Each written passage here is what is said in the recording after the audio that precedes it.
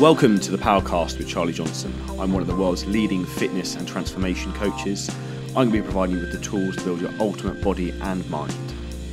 So, absolute pleasure today uh, on the Powercast to have Chris Collins uh, on from Muhdo. So, Muhdo are a company who we are now working with at CJ Coaching who do uh, genetic testing. So, absolute pleasure to have your time today. So, thank you very much, Chris. Yeah, thank you for having me. I look forward to it and explaining what we do. So that'd be good. Yeah, exactly, exactly. So it's um, it's a fascinating new world with science and technology and like how this can be implemented into sports performance and helping people like build muscle and burn fat. So maybe give us like a brief like 60 second intro into like who you are and maybe what uh, what Muhdo do in like a brief brief paraphrase. Yeah. yeah, so Mudo are a DNA testing company. We test for base genetic code and we also do epigenetics. Um, and epigenetics is when we look at methylation. Yeah. Uh, methylation can change over time. So the things that you do in your lifestyle, whether that be exercise, what you eat, where you go, your pollution levels, etc. We analyze that as well. So we give you a base breakdown of your DNA, and we also do testing for epigenetics, which can be done multiple times throughout the year, throughout your lifetime to see how things are changing based on that, we can give you diet recommendations, nutritional information, um, exercise and training ideas, uh, all based around both DNA and epigenetics. So, in terms of the testing, in terms of like layman's terms, we're very too sciencey because it go over well over everyone's heads. How does it essentially work?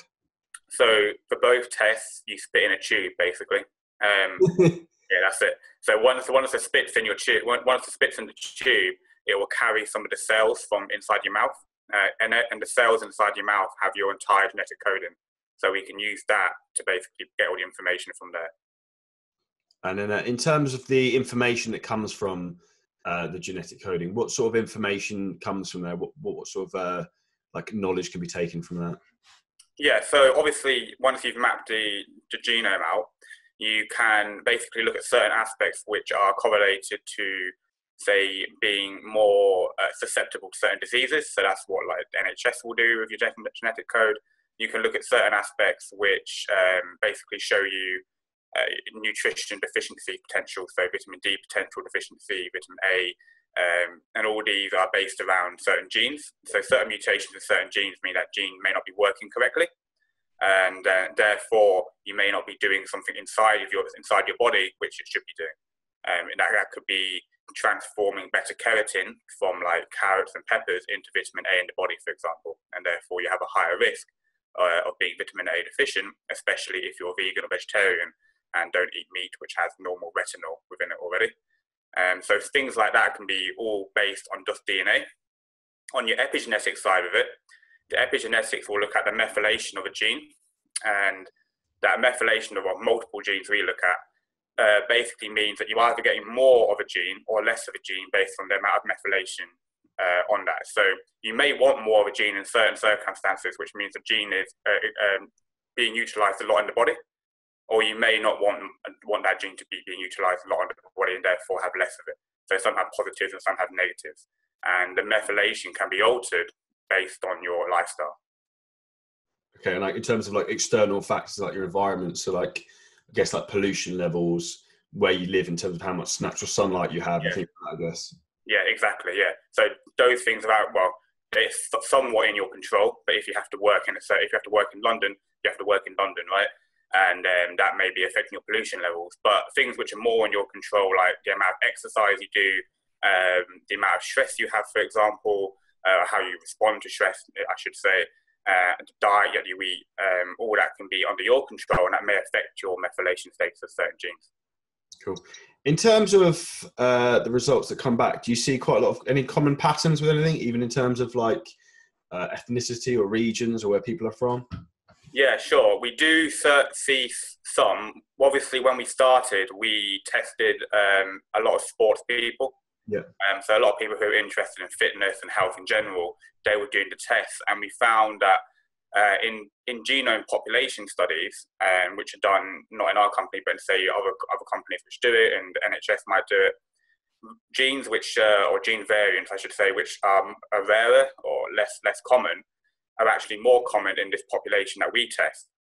So it, it could be that the people who are into sport, for example, may have been into sport from a young age, So they were good at PE in school, for example, and then they took that further. Um, and therefore, they may have been good at sport when they were younger because of these gene variants that they have, which are considered uncommon, but they're actually common in the pool that we test. So um, we basically isolated a group out of people who are good at sport and they have the common gene variants.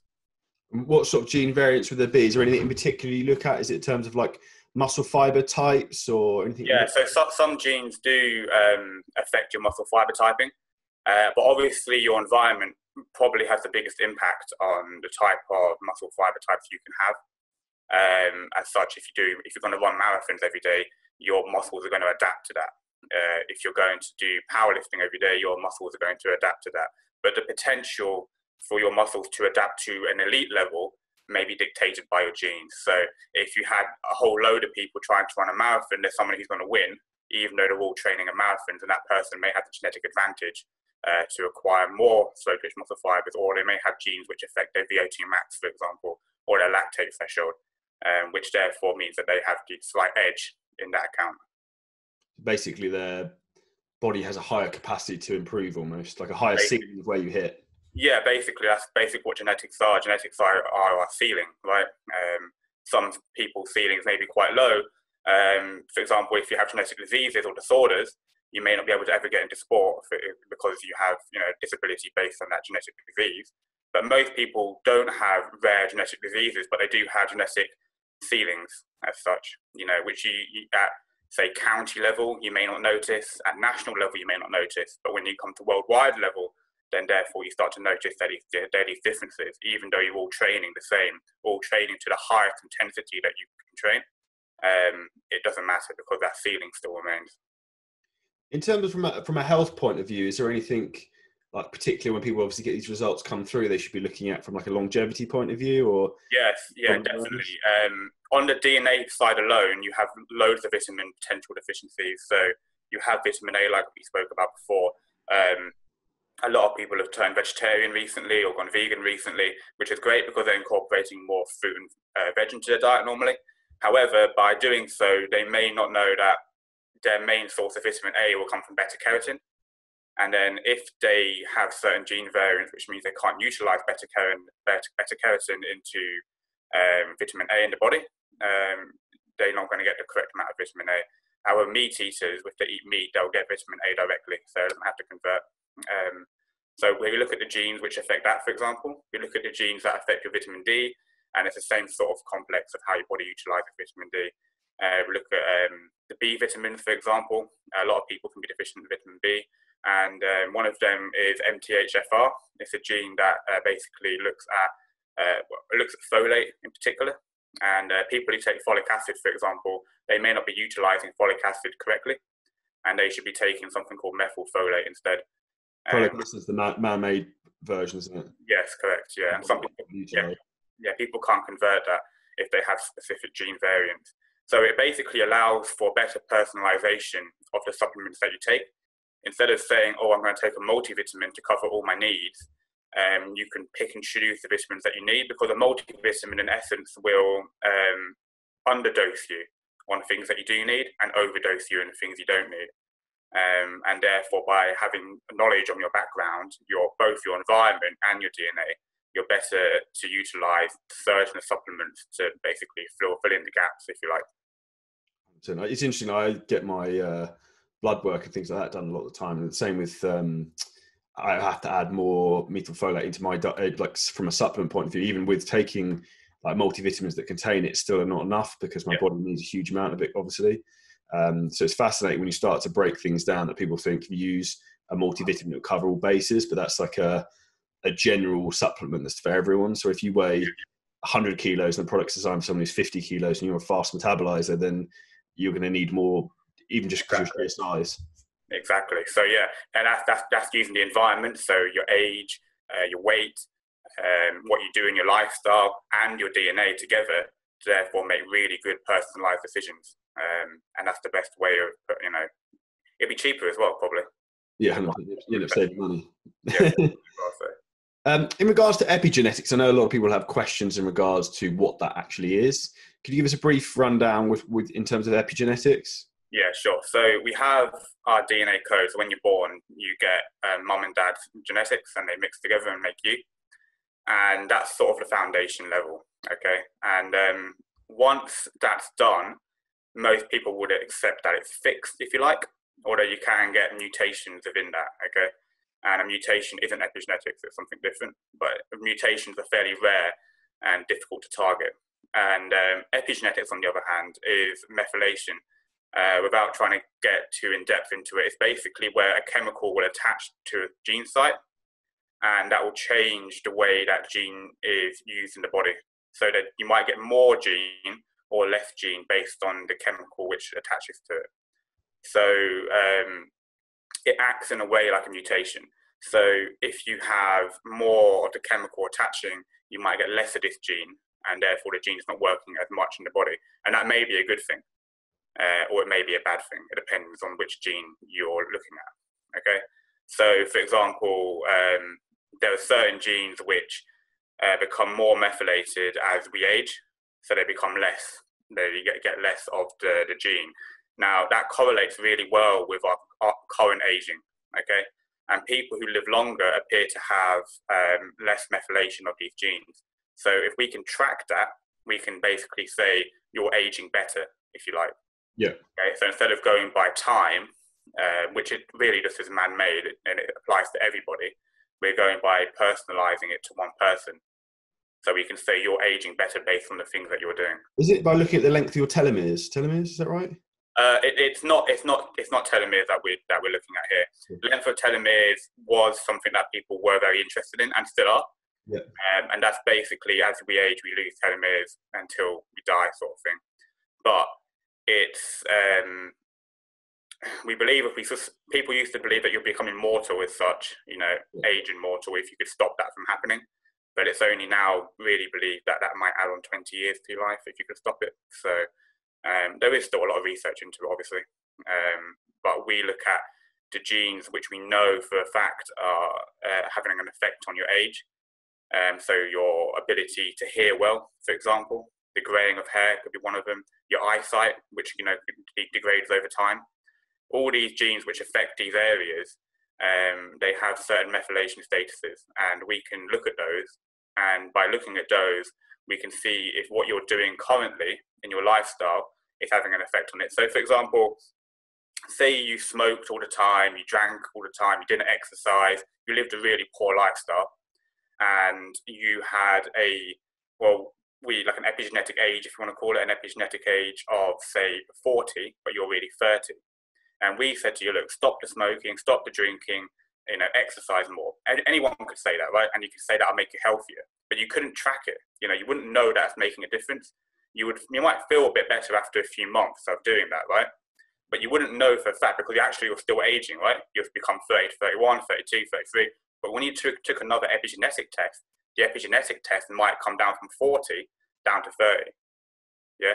So you've lost 10 years by doing that. You've gained 10 years on your life in a way by doing those changes. And we can look at that in a test. So you're measuring how beneficial the exercise, the diet is based on the test, right?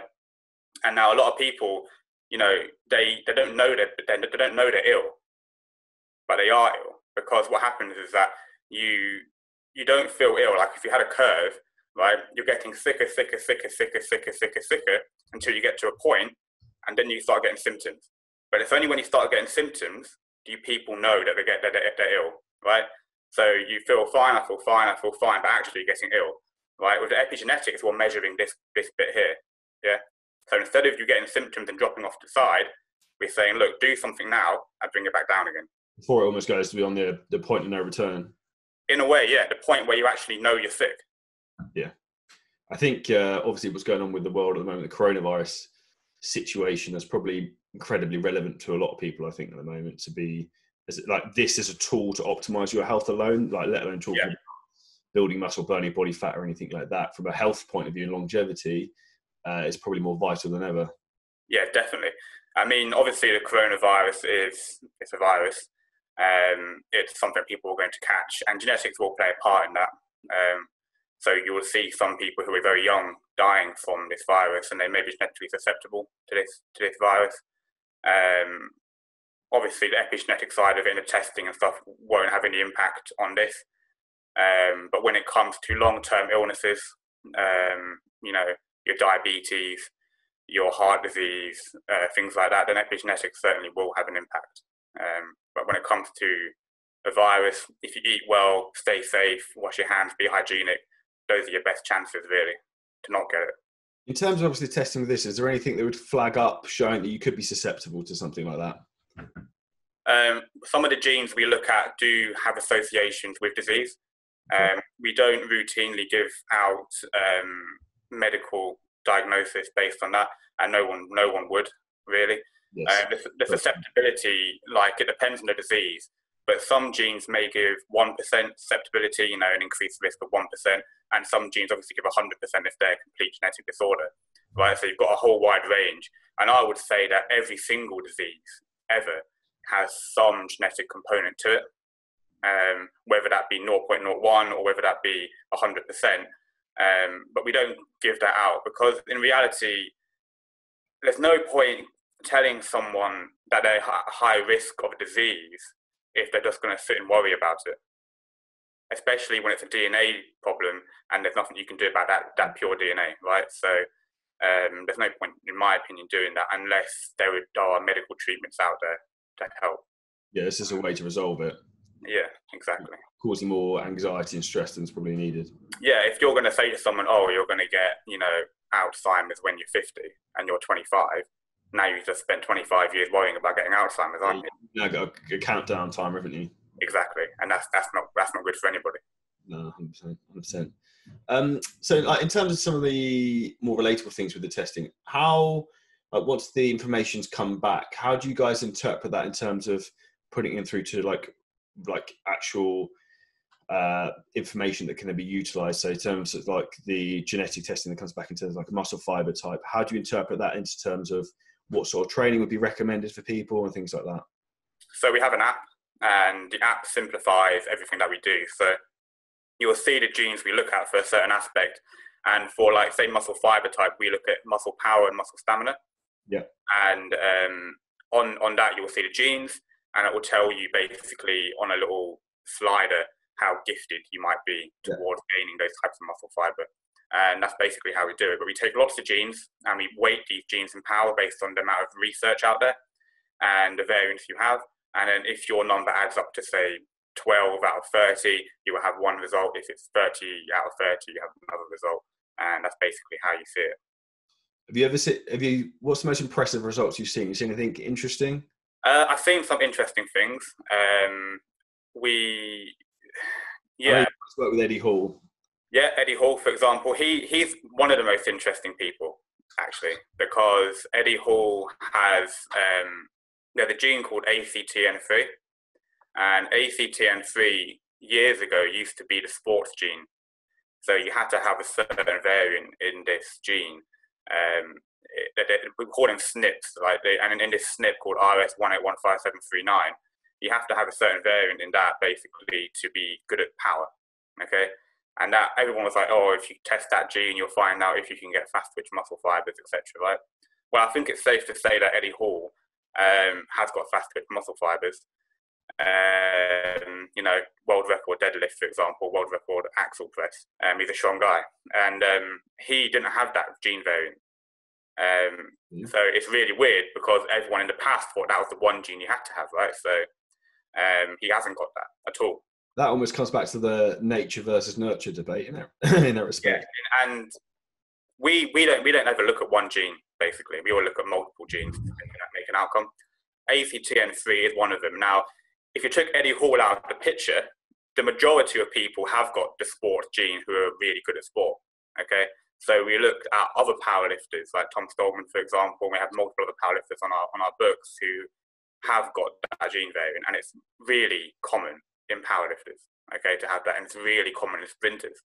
But Eddie Hall hasn't got it, so it's not a hundred percent rule that you need to have certain genes to be good at certain sports and that's why we take into multiple uh, genes, for example, to make a decision.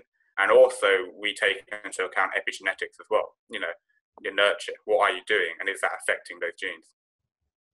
That's fascinating. In terms of um, like results, how in terms of I think turnaround time is about four weeks to get the results to come through, and then does that populate onto the app system you guys use pretty much straight away? Yeah. So as soon as you do a test, you will uh, download the app. Okay, and then as soon as the test results are there, the app will update you, and then you have your results.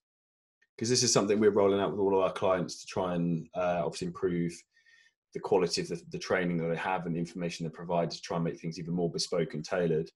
Um, what do you think is like the future of where this is all going to? Because obviously this has developed very quickly in terms of probably like the last few years. Like you said, people like you could do this 15, 20 years ago, they'd probably think you're crazy. Like on a mass yeah. market sort of. I mean, it's probably 10 years ago when it started. And then in those days, it was, like I was saying, the ACTN3, they tested one gene. You would do a test, you have one gene tested, and that would say you should be power, you should be stamina. Um, obviously, we know now that's not true. Um, it's come a long way since then. So I believe development-wise, we'll be looking at more research into certain genes and what they're doing and why it's affecting someone. Um, and also the epigenetics, I think, will take off in a massive way because I believe that uh, with a measurement such as epigenetics, people will be far more motivated to maintain um, their exercise regimes and far more uh, you know motivated to maintain their health and eat correctly because they will have something telling them you are getting thicker even if you don't feel it. Yeah um, like longevity i think is, is everything in that respect. I think everyone's looking for and it's just been yeah. thrown around a lot more at the moment. Um, in terms of like the kits from a we talked obviously from muscle building strength side of things do you guys test in terms of like fat mobilization or in terms of like if you're more likely to be obese or anything like that, or have like yeah, we, we, have we have got those variants in there. So we have got like obese, the obesity genes, if you like, um, and we have got the you know type two diabetes genes in there as well. Um, but they're more for information purposes rather than you know it's it's not it's not a prediction to say that you are going to be obese. You know that is environmental, and it's one of these things that it may increase your risk by a few percent. You know to be obese. So you can't ever say, "Oh, it's in my genes." You yeah. know, it's not. It's you know. Habits lately. Some people might be able to eat two cakes, but you yeah. can only eat one. Yeah. And that's the difference. try not to eat any cakes is the answer. Yeah. um, in in regards to that, I think it would be quite interesting. Do you guys ever do that on like a like the results based on like um a like geographical location to see like in terms if that varies? Yeah. So our the, the research that we use um, be based on certain um, aspects. So because we, we're worldwide, um, we give power to certain genes. So if that gene has been researched in multiple ethnicities across multiple countries, we may give that more power in the algorithm because we know it's affecting, you know, human humankind as such. If it's only been tested in one specific area, it may not have very much power in the algorithm, and that's how it works. Um, we obviously have a, a multiracial amount of people who have done our test now. We have tested people from who live in India, Malaysia, uh, in all across Europe and America. So uh, we have a lot of people doing the test. It's, it's fascinating how much sort of detail and information could come from that. Um, so to sort of wrap, wrap things up, because I don't want to keep you too long. In terms of the process, what would you say to anyone who's interested in using the product in terms of uh, the testing, in terms of from a like a health optimization point of view and maybe from trying to like optimize the performance. I think obviously health optimization is no shadow of doubt of how much benefit there is there for people. Even just have like a, a moving score to almost i think make people conscious of what they're trying to achieve and like longevity. But um, do you have any parting thoughts on that? Uh, yeah well i mean we have got the epigenetic age. We call it biological age. And i think that's the number that a lot of people use in the epigenetic part of it to really measure uh, their, op- their optimal health, I suppose. You know, it's the one figure which says everything about the person, right? If you want to look at complete sport, I would base it on what you do in sport. You know, base it off your lifts, base it off your sprint times, base it off your marathon times, etc. But if you want a health score, the biological age is definitely uh, the one to look at. And um, if you go to an office and you test everybody in the office and they've all got their, their biological age, suddenly everyone's motivated to like exercise. Like, oh, I'm gonna knock five years off this, you know. Especially if they're 40 and comes back to like 75 or something, you know, they they're really trying to you know get motivated. So it is it's powerful to say to tell someone who's 40 years old, you know, you, you're 60 according to your DNA. And I think it's one of those things people need to be given a bit of a rude awakening sometimes because you're only otherwise, as we said, going to get that rude awakening when you go too far beyond the point of no return. You end up having a heart attack or yeah. diabetes or something, which is a serious issue.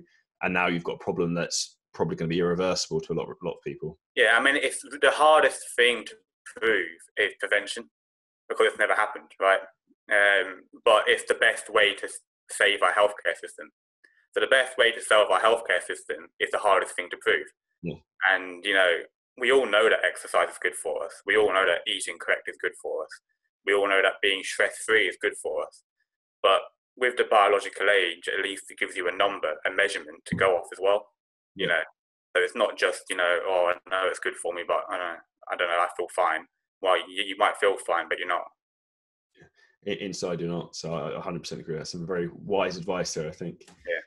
Um, all right, we'll start to wrap things up there. So, anyone who's interested in potentially using the kits and getting some application from our side of things, uh, if you hit the link below, you can apply to work with myself and the team, and we can also get you set up with Muhdo in terms of genetic testing and epigenetics, and we can try and get your uh, biological age down so you can try and get you living longer. Um, thank you very much for today, Chris. Really, really appreciate your time. Perfect. Uh, thank you very much. With you guys soon. So um, stay safe for the current situation, regards to what's going on, and uh, yeah, all right, take care. Thank you. Thank you. Bye now. Ciao. Now that was an absolutely killer episode of the Powercast. Hope you guys absolutely loved it. Now I want to fill you in something I put together, which is absolutely incredible to help you not just survive during this quarantine, but actually thrive and come out of the situation in your best shape ever. So I appreciate a lot of people are really struggling at the moment in terms of knowing how to train from home, knowing how to stick to their diet when stuck in the house. As ladies in lockdown, guys stuck in the house, there's a lot of issues going on here. And I wanted to come forward to help you guys and girls come out of the situation as a success. Now, what I have done is completely revamped my world famous Shreddin8 and Sculptin8 programs. And what's even more exciting about this is I'm giving you 77% off on the price of the program. So normally it costs 149 pounds or 200 US dollars. Now you can sign up for just 37 pounds per month or 45 US dollars and what's better, you can actually lock this price in for the rest of the year to get a new training program and new diet every eight weeks. Now, the new versions of the program are fully home workout based, just using your body weight and some basic bands. These will get you the normal world famous results that you get on Shreddin8 and Sculptin8, so you come out of this situation in the best shape ever. If you'd like to get involved, please click the link below in the podcast notes or drop me a message with any questions. Would love to have you not just another client of Shreddin8 and Sculptin8, but another success story.